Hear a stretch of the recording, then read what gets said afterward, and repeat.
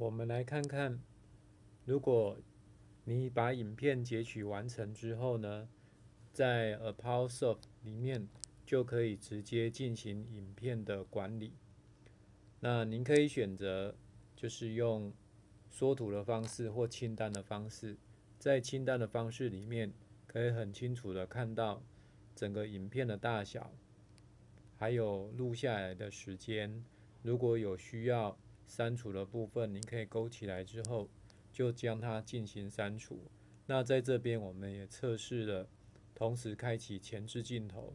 如果这个时候会挡住到我们的荧幕画面，可以把摄影机的图像把它移到别的地方。当然，摄影机的头像部分，呃，除了现在预设的圆形之外，也可以选择四方形。